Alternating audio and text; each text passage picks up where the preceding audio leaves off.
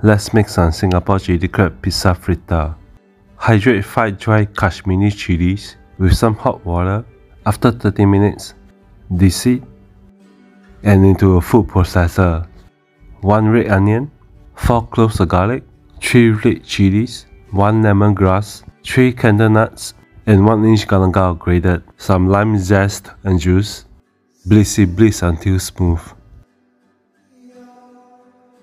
2.5 tablespoon of ketchup, half tablespoon of hoisin sauce, half tablespoon of oyster sauce, and mixy mix. 1 tablespoon of belacan, break it up into pieces, and toast until aromatic. 2 tablespoon olive oil, and saute. The spice blend, and mixy mix. Cook until the liquid has evaporated. The ketchup mixture, and mixy mix. Season with some salt and white pepper mixy mix. And now it's done. 1 tablespoon of flour and 1 tablespoon of butter. Mixy mix. Cook until the roux has darkened. 175 grams of chicken stock and mixy mix. Some mozzarella some pecorino and some gruyere. Mixy mix.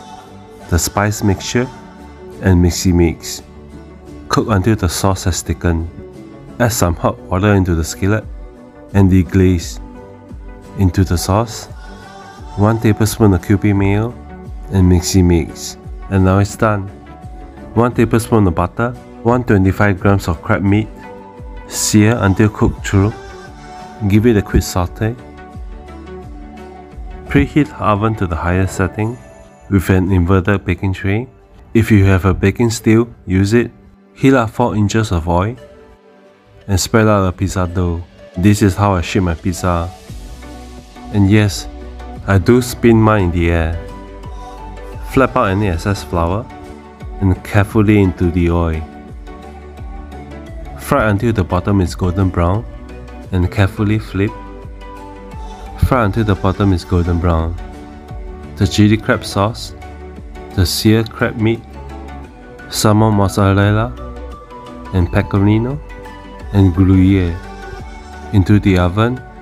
Bake until the cheese has melted.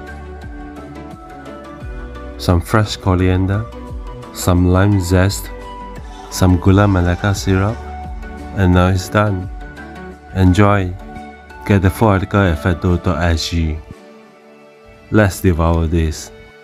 You really have to give this a try. Cause this is super yummy delicious. The chili crab goes so well with this fried pizza. Thank you for watching. Have fun in the kitchen.